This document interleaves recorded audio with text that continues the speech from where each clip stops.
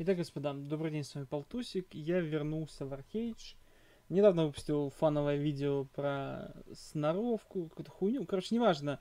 Мне там люди писали, зачем ты выпускаешь, когда не разбираешься. Короче, этот канал вообще не гайдовый. Тут я не игровой эксперт. Я вот что увидел фановое, выкладываю. У меня нет никаких обязалок и так далее. Это просто для тех, кто не в курсе. На этом канале может появиться рандомное видео, где я, блядь, рыбачу нахуй в Байкале. Никого это ебать не должно. Итак, вообще к чему это все? Я вернулся в игру пару дней назад, сейчас собираю себе лучника. Буду делать, естественно, через библу, вся хуйня. И фен забил нахуй. Значит так, я купил себе ружье, 10 доп. А, буду собираться через Кейт. Мне уже писали, типа, алло, ты вообще понимаешь, ты осознаешь, что ты делаешь? Сейчас мета, фул пробива, обороны, канал Шера видел. Я скажу так, я видел. И это вообще не новость. И на самом деле я хочу вас от этого уберечь. С одной стороны, это правильно. Сейчас собираться в пробив, играть с обороной, атаманом, это правильно. Но, я скажу так, это путь э, к ливу из игры, нахуй. Это путь к дизморали. Это то же самое. Почему, вот, э, можно сказать, всегда был класс, допустим, у магов, да? У магов был класс хранитель, типа сильнейший, да? Но за него играли единицы, потому что это, ну, это не игра, это дебилы ебаные, это просто сыны шлюх, тактики с фаерболами. Это скучно, это неинтересно. Поэтому чародеи, там, не знаю, те же, блядь, да ладно, сновидцы, летописцы, не знаю, колдуны, они все фановые, больше вариантов, больше фана, понимаете, интереснее играть. Отчасти по этой причине я остаюсь в Крейд, а с другой стороны, другое. Я обожаю класс сказителей. Я возвращался из-за него. Винтовку я взял тоже не из-за того, что я хочу быть дробашистом ебаным. Винтовка просто сильнее лука. Она сильнее на 30%, блядь. Просто на ебаные 30%. Даже вот эта вот пассивка, которая, если вы бьете 30 метров, она не вывозит, блядь. Она не вывозит. Когда вы бьете, допустим, милика там в 10-15 метрах, лук бьет на 30%, даже больше, на 35% меньше. Это настолько ощутимо, ну и нахуй.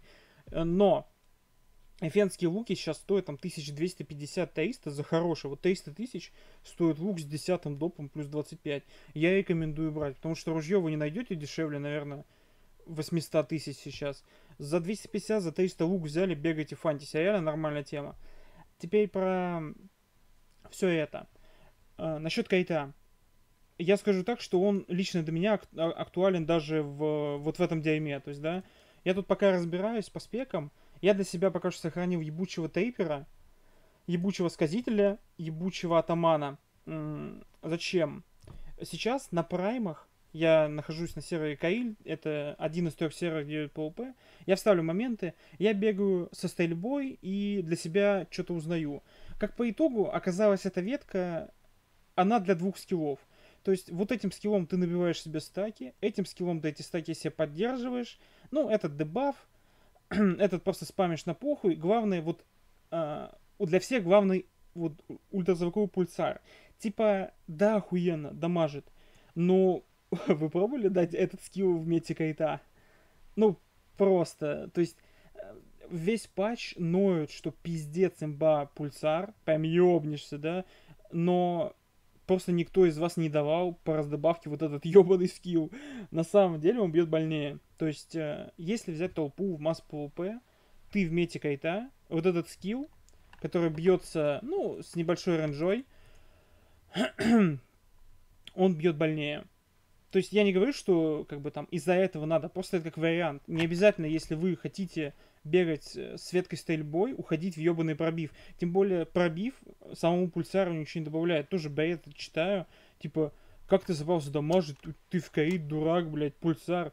Че, вообще читали, что у него написано? Типа, ему похуй. Я, я, этот пульсар юзают ебаные милики, блядь, ебаные маги. Мне чел дает поступ на арене, поступ, блядь, и кидает под меня пульсар. Ты чё, охуел? Ну, короче, этот скилл юзают все, а, но я еще юзаю вот этот. Я там, повторюсь, вставлю этот момент, где, ну, насколько он дамажит. Э, в целом, отзыв о ветке. Наконец-то. Это то, чего нам не хватало. Это вариант лучникам приносить импакт в масс PvP. Потому что сказитель в масс PvP, ну, честно говоря, он не выдает, наверное, и 20% КПД ебучего атамана. Конечно, можно взять вот этого траппера, то есть это преследование, стрельба, скрытность. То есть, по сути, ты сказитель, потому что на тебе там песни в рейде висят, да, ты сказитель, только у тебя еще доп-ветка, но в нормальном ПВП не вариант. Вы не можете бегать. Играя за вот этого ебаного атамана, вы что должны будете делать? Набить стаки, поддерживать стаки, летать, давать пульсары. То есть э, пульсар раз в 15 секунд, плюс вот эти залпы, плюс там, ну, корзины выставы кидать, короче, неважно. Все это настакивать. У вас не будет времени стрелять. Вам это нахуй не надо, вам не дадут. Вот за мной вообще бегают толпы народу, вы ебанутые, блядь, отстаньте от меня, я учусь играть, нахуй. Я просто, вот раз в 15 секунд, а реально, это достаточно. Это быстрое КД в рамках ФВП. Вы настакали, выдали, э, то есть выдали пульсар вместе с этим скиллом, взлетели нахуй или там отлетели, от, отошли от файта, на, держ, держите на все стаки, подлетаете под новую стяжку, даете заново. Звучит как хуйня, звучит реально как игра двух скиллов, но что поделать? Ты как бы, увы, э, я тоже протестил немножечко, если это можно тестом ливни, это позор. Я не знаю, сколько эти уебки будут мучить обычная ветка преследования. Этот ебаный ливень не дамажит вообще. Я даже пошел дальше. Я протестил ебаный э, ливень Ферунда, вот этот вот блядский, он чуть-чуть дамажит, то есть условно э, он бьет по людям тысяч по 5, по 6. Когда-то это звучало нормально, то есть если он опять же попадет, да, он достаточно далеко бьет, его удобно кастануть, там файт может быть. Ну, на даске точно, вот я же про даск говорю, где я тестил, и можно дамажить, но в нынешних реалиях 7000 хп это одна там ходка хила, это зеленая банка. Ты никого не убьешь этой хуйней, никого. Била бы она по 15, было бы интересней, но пока что ебаный кал. Про вот этот ливень, ну нет. Я, я там тоже под, повставляю, наверное, я еще не, ну, не монтировал. Наверное, сейчас будет вот идти мои слова и демонстрация всей этой хуйни. И я могу сказать, что, ну, ебаный кал. Ебаный кал. Вообще невозможно. Единственное, что еще не потестил с ружьем вот этот вот азарт а, черный массовый. Может быть, сегодня на прайме и проверю. Но, ну, я, я знаю, я знаю, что это будет говно. По итогу я, наверное, ответил, почему я в кайте остаюсь. Потому что, вкратце, я хочу играть с сказителем. Сказитель охуеннейший класс один на один. один на два, один на три. Это ганговый класс. Он всегда был и будет лучшим. У него дохуя урона. Уже год или полтора. На самом деле у сказителя много урона. Единственный минус, что весь урон заканчивается, когда у вас кончается стойка.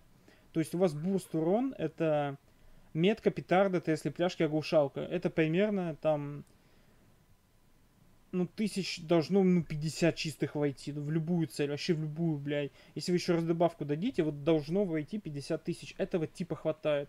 Но проблема в том, что э, когда у вас кончается стойка, вы начинаете пукать азартом, пусть даже по 7 тысяч. Вот сейчас опять я вставляю момент, э, просто милик там, да, ебаный хипистер. Вот азарт по 8, по 7 тысяч. Хороший. То есть многие об этом мечтают. По 7, по 8 тысяч азарт, нихуя себе.